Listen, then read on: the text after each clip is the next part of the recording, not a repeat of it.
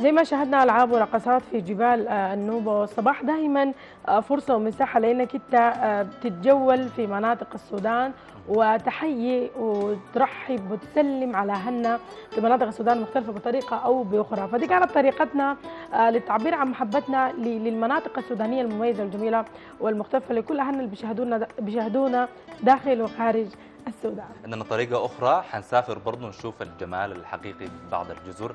آه، التقرير التالي حي... حيعرفنا على جزيرة آه، مقرات آه، فتابعونا. مقراد أو مقرات الصالحين كما كانت تسمى في السابق تعد الجزيرة الأكبر من نوعها على مجرى النيل الرئيسي.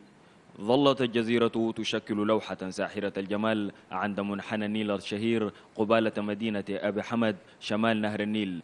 يعود تاريخ الجزيرة إلى عصور ما قبل الميلاد. تقدر المساحة الكلية للجزيرة بأكثر من 100 كيلومتر مربع تتخللها العديد من التلال والصخور الرسوبية التي كانت تسمى بالخرسان النوبي. تحوط بالجزيرة 33 جزيرة صغيرة معظمها مأهول بالسكان.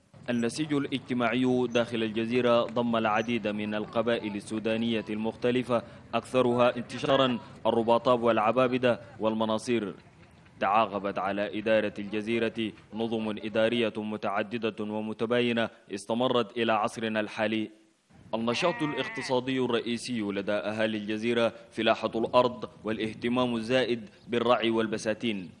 مثل القمح المحصول الرئيسي للأهالي بجانب الأنواع الجيدة من التمور والبقوليات. عرف إنسان الجزيرة الزراعة التقليدية منذ أمد بعيد واستخدم معدات بدائية قديمة كالأربل والطورية والحرث بالثيران.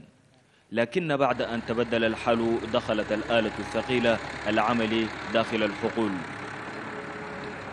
المتجول داخل الجزيرة يلاحظ أن معظم بيوتها تم بناؤها بطريقة متفرقة داخل الحقول واتخذت البيوت أشكالا هندسية وألوانا تقليدية مميزة تعود إلى الثقافة النوبية القديمة التي كانت تسود هذا المكان.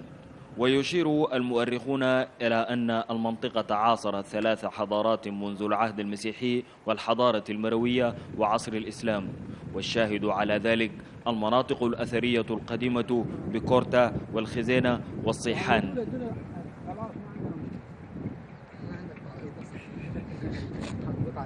عرف إنسان الجزيرة بفراسته وبديهته الحاضرة حين الرد على السؤال. كما تميزت الجزيرة بإجادة الوصف وخاصة المجموعة التي تسمى بالكلاشنة في ذلك المكان. التنافس الأدبي والشعري كان المتنفس الوحيد لأهالي مقراد الأمر الذي جعلها تنجب العديد من العباقرة والشعراء. هذا النمط جعل لأهالي الجزيرة إرثا ثقافيا مميزا وخاصا حبب كل من ينتمي إليها بمختلف مدن السودان.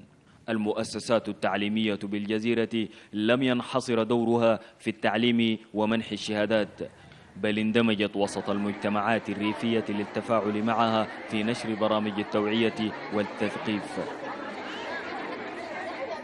حتى الآن لا تزال عمليات التنمية تنتظم الجزيرة من أجل استقرار إنسان مقراد ويحكي الناس هنا عن اهتمامهم الزائد بجزيرتهم من أجل النهوض بها حتى تكون ذات إنتاج وفير في مختلف الصعد والمجالات.